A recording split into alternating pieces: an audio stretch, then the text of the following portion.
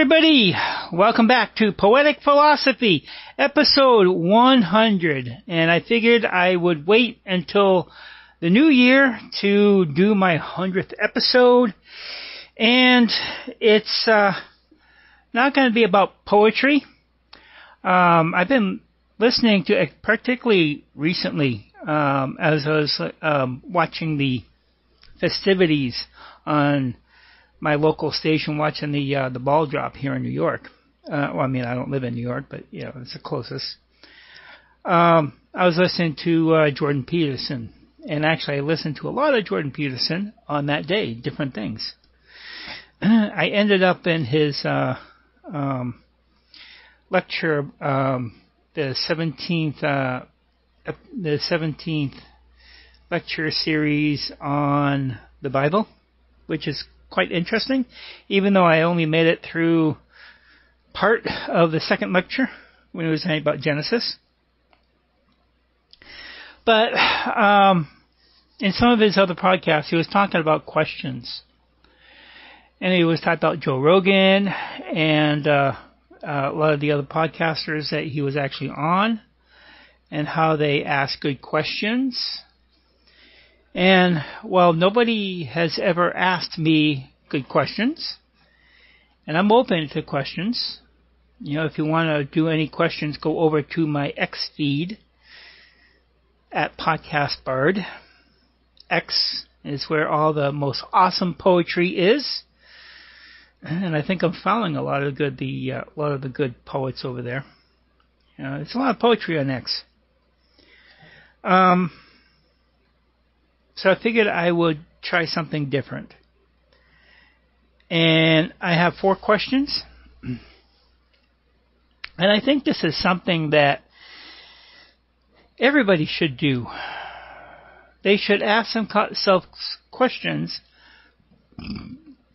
to um, know um, to fully define or, or, to know, you know, what it is they know. Because it's through questions that we uh, come to know not just ourselves, but also others. Questions are an awesome way to um, get to know yourself and other people. And also, through questioning, is we increase our intelligence, increase our knowledge, increase our empathy, and our understanding of the human condition. so the four questions. Um, the four questions is what is soul? What is God? What is the monad? And what is the most important action I do as a mystic poet? Uh, now, most people can answer, well, uh, most people can definitely answer the first two, maybe the third, if you know what the monad is. And if you're a poet, well, maybe all of them. Anyways, so I'm going to start this with what is soul? And throughout my life as a poet, um, well, I should say through my life as a spiritual seeker because I've always like sought uh, sought the divine, you know, because I always had the question of uh, what is God, and I'm going to be getting to that in a moment. You know, like if there's only one God, whereas there's so many religions and things like that. I answered those questions as I grew, but that journey has led me deeper down the path. So, what I think of soul and it's probably more in relation to the current book that I'm listening to.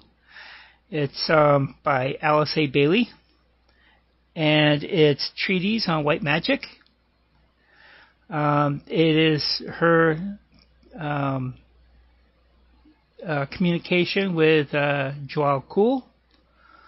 You know, at the writing of that, they were both alive, so it wasn't really wasn't really a channeling. It was like something other than a channeling. and we can connect with other people.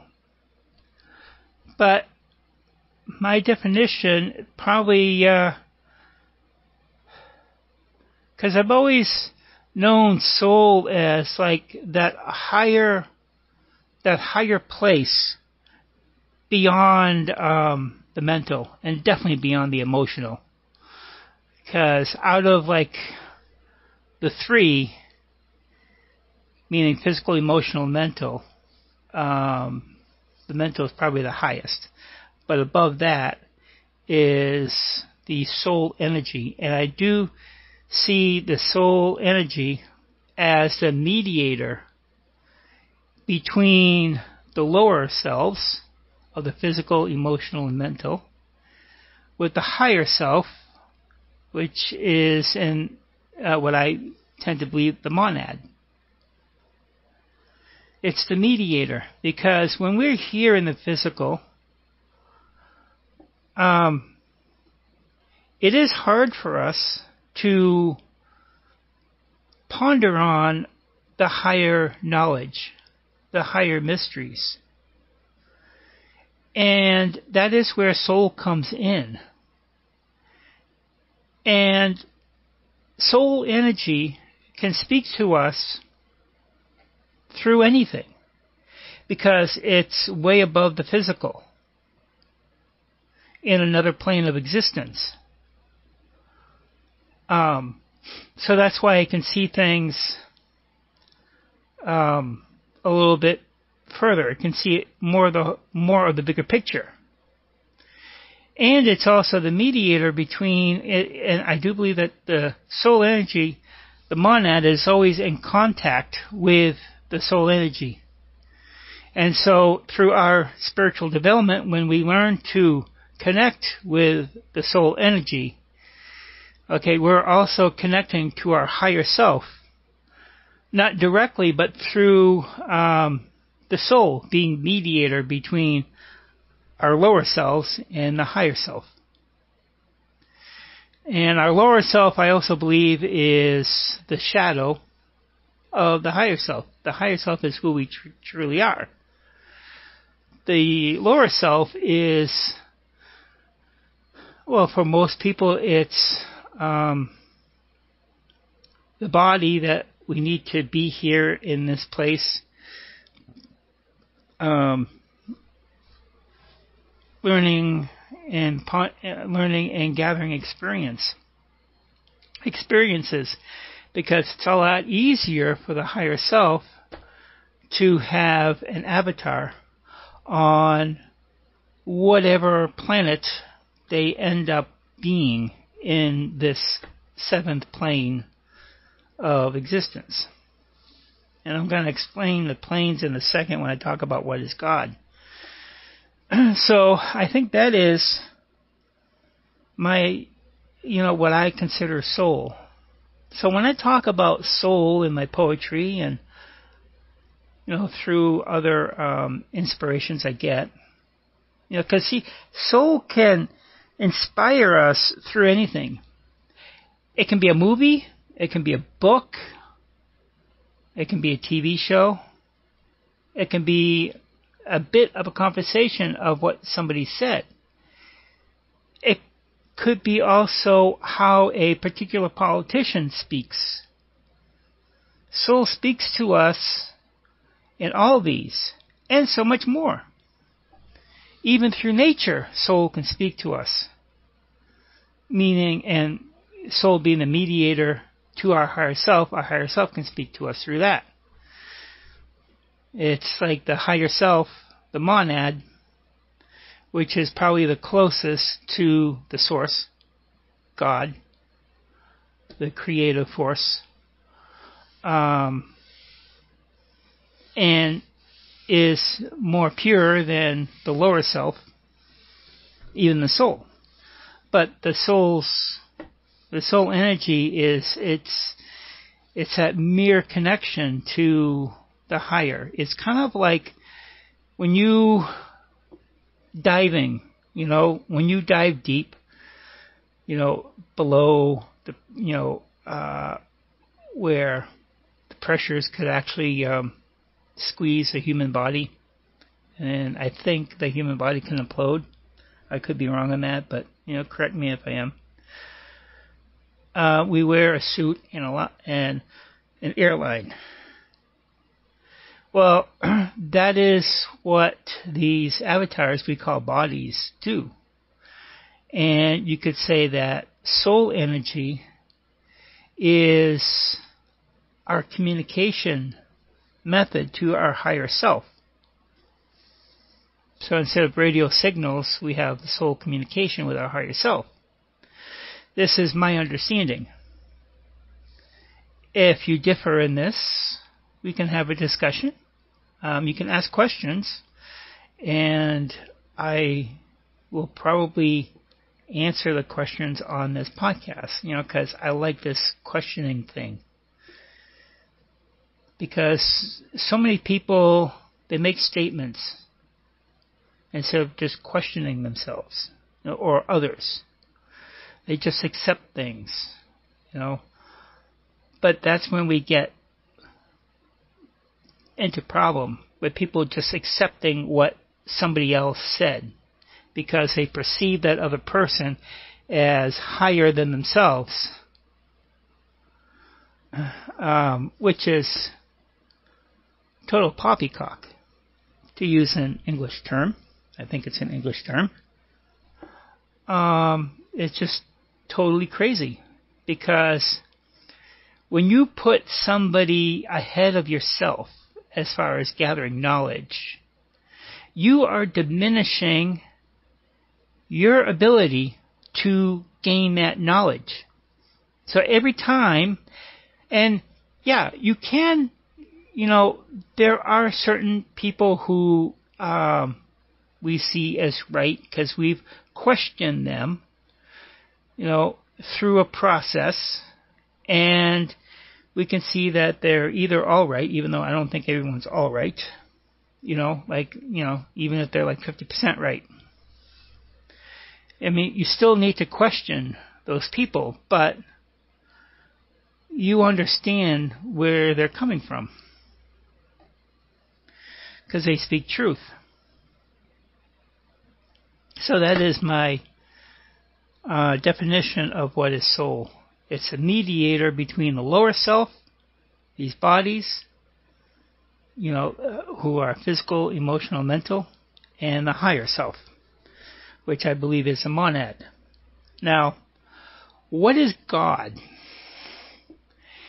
Everybody has their own definition on what is God, whether they're in a type of uh, religion, and I include atheism as a religion because it is. New Age stuff, that's a religion because it is. All a religion is is uh, um, a modem where there's common beliefs that people believe. Even science can be a religion. Um, it's just a series of beliefs. And so I've been pondering through, I've been pondering the question, what is God for pretty much all my life? And I kept getting pieces of information, uh, spiritual teachers I listened to, uh, books I read, even business books. Yes, there can be spiritual truth in business. Because after all, money is based on energy. And spiritually, well, people can understand energy and money. If you have trouble with money, you probably have trouble with your energy. And there's some truth there, I think. So I wrote a short little poem that I put out on X a while ago. And I paired it with a picture that I actually hand drew. Um, but that picture is an old symbol that you can find on, um, you know, pyramids and cave, you know, cave drawings. I mean, it's like old old pictures. You can find the hieroglyphs of this particular image, and if you look on the back of your dollar bill, you see the image there. It's a pyramid with the eye on top of it. The eye meaning the all-seeing eye. And that all-seeing eye, from my perspective, is God.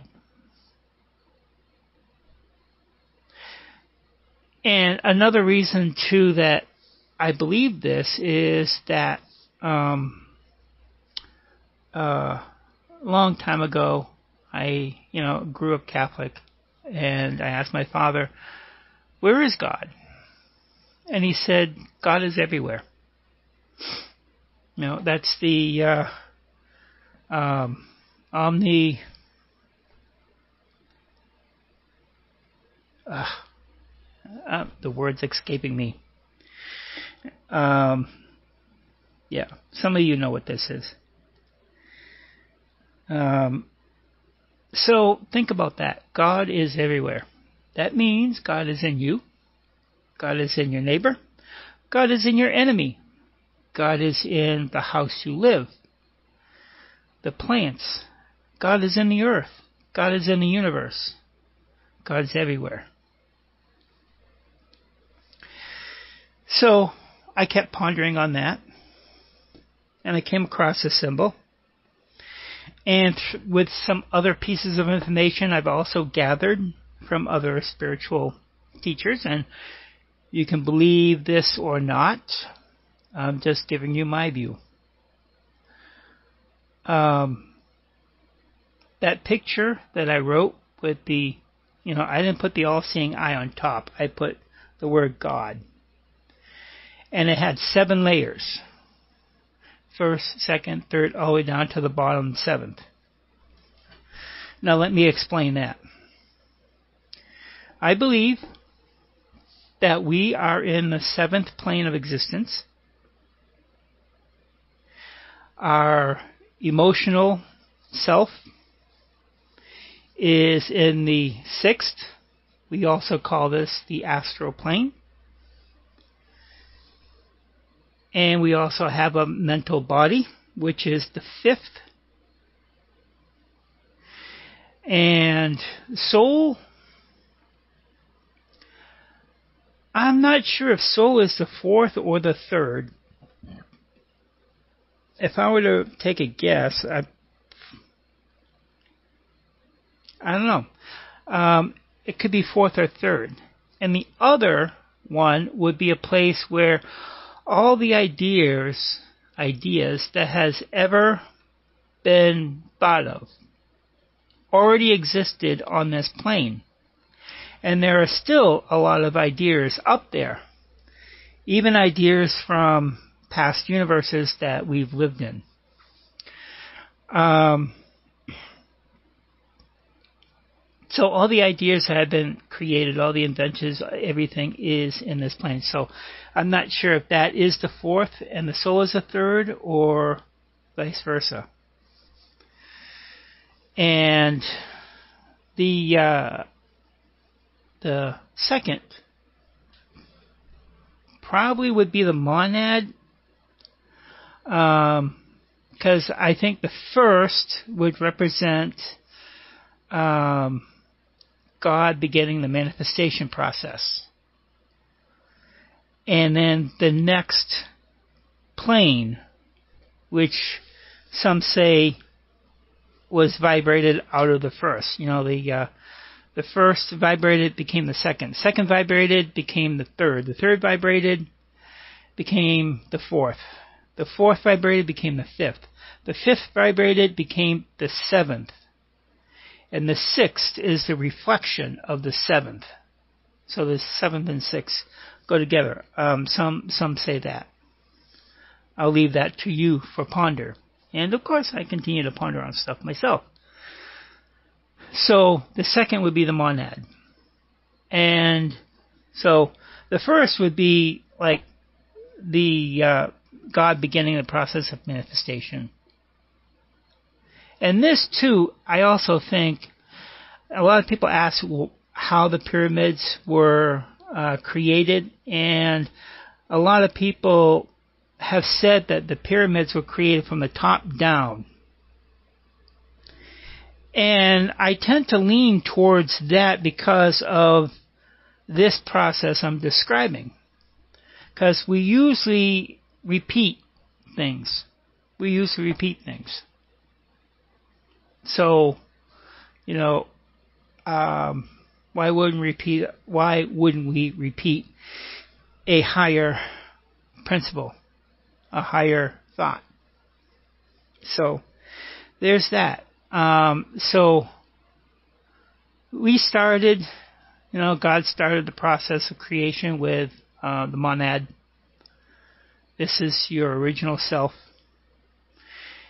And then you continue working yourself down to the seventh, building up the variety of bodies you have soul body, mental body, emotional body, and finally the physical body. Um, again, I think we need that because we keep getting denser, and each plane has, um, I feel, um, certain properties to itself. You know, a lot of people who say that, and this is why I disagree with uh, um, uh, um, uh, that Marvel term, multiple universes.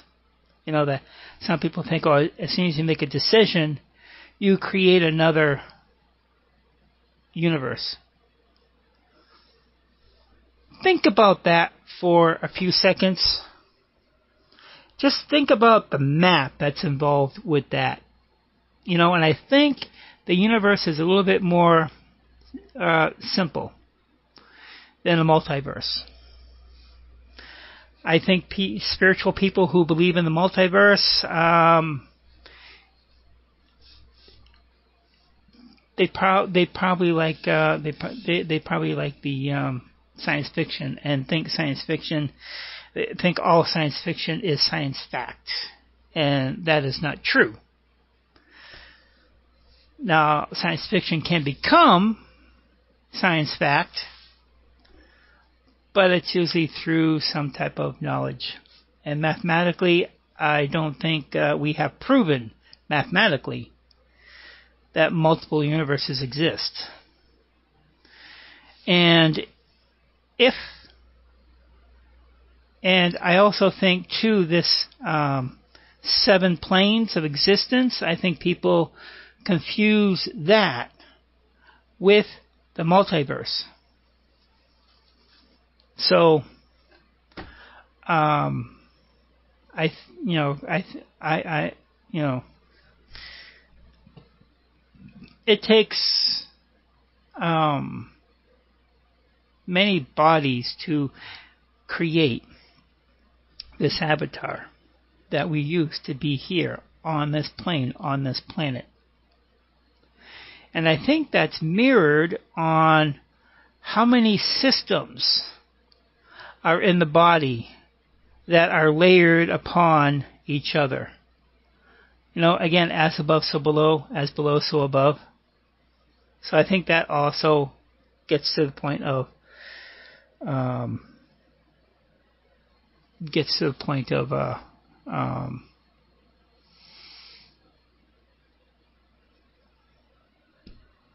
I can't think of the word.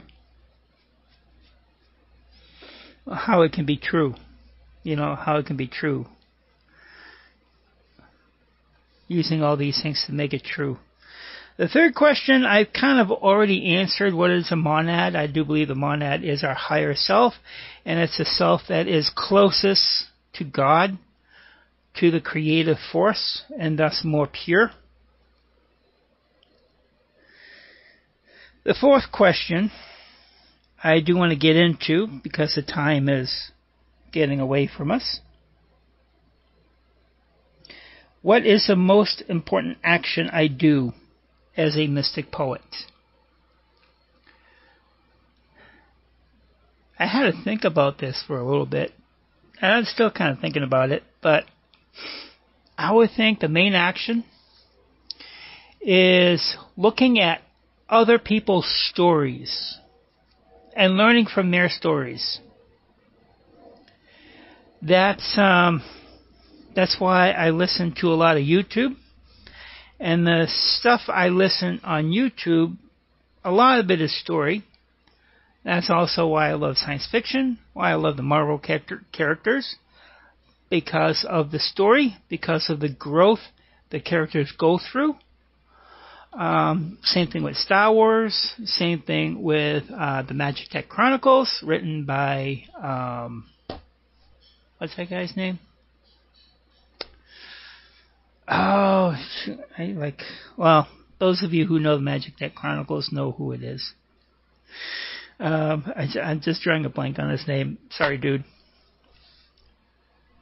So it's it's that listening to other people's stories, learning from their stories, and just increasing my knowledge, pondering on the things that I see in a story um, whether it be like a story from Hollywood or a story from YouTube. Ponder on those, ponder on those things. And that's how we've always learned. We've always learned through story. And I believe that's why books like the Bible, which is multiple stories that are put together to make one big story, I think that's why that's been the most popular because it's been proven that those stories they're about basic um, psychological um, things, whether they're whether they actually happen or not. The psychology behind them happens many, many, many times.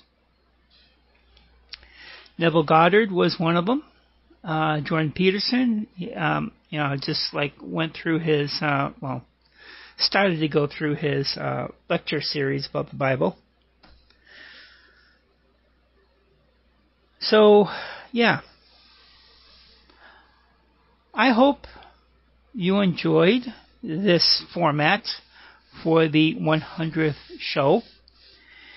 And, uh, gives you a little bit more insight on what makes at least this poet tick, why I write my poetry, you know, why I consider myself a mystic poet, because I'm seeking to understand the divine, God, the creative force. And that's why I love creativity and creating and people who create awesome stuff on YouTube, yeah, watch that stuff too. You know, like Prism, he like using the same characters, he rewrote the sequel, seven, eight, and nine, which is a lot better than what Disney could come up with, because Disney didn't really respect the characters. They just had an agenda. They didn't let the characters tell a story. They just wanted to tell their agenda. So, anyways, I thank you for listening. I hope you all stay creative in the magic of life, and if you have questions, I will be posting this on X and on iHeart, and I believe I'm also posting on Spotify. Um, so if you see myself out there. I'm not on Spotify. I'm mostly on X. So if you want to ask me any questions, you'll have to go to my um, feed at Podcast Bard and find this post and ask questions. I think there's also another way to ask questions through that. I don't know if they still do direct messages but you know, there's a few a few things they did to like ask questions. So I'll be looking at all those. Particularly ask a question where um, this post appears on X. Thank you for listening. Stay creative in the magic of life, and I hope this new year is awesome for everyone. As the Vulcans would say, also live long and prosper. Thank you for listening. Have a good day.